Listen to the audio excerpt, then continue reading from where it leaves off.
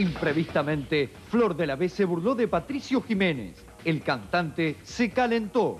¿Vos sabés que el hermano de Susana se puso Johnny Frank? ¿Eh? Patricio Jiménez, porque está cantando Los Cruceros. ¿Viste? ¿Se cambió el nombre? Claro, como acá no le dan pelota, se fue a cantar allá en los, en los cruceros. Supuestamente los americanos no le dan muy largo así, Patricio Jiménez no le salía y se puso Johnny Frank. Qué atrevido.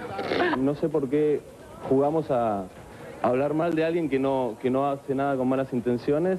Este, ¿Por qué me tengo que someter a, que, a, que, a esos comentarios? O sea, vos te llamás Florencia La Vega y no debe ser tu nombre, supongo. Entonces, eh, y yo no, no te gasto ni digo, si vos sos de La Vega, Diego de La Vega, el zorro, yo soy Batman, no me, no me parece. Patricio Jiménez adoptó un nombre artístico para trabajar en el exterior.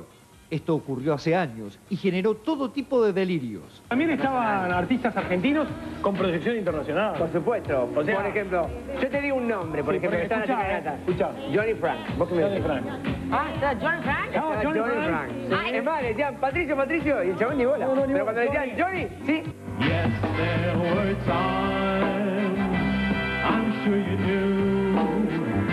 El hermano de Susana ahora explicó por qué eligió el seudónimo Johnny Frank. A papá le decían Johnny y el apellido de mi mamá es Frank.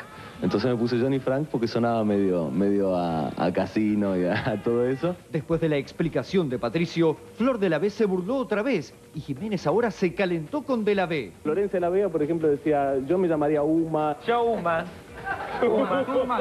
Y Florencia, si yo fuera vos, o yo te imitara a vos, vos te llamarías Uma, pero yo me tendría que llamar Batman, porque vos no tenés un nombre, es tuyo el nombre ese, no sé. ¿Por qué se agarraron así Johnny Frank y Flor de la B?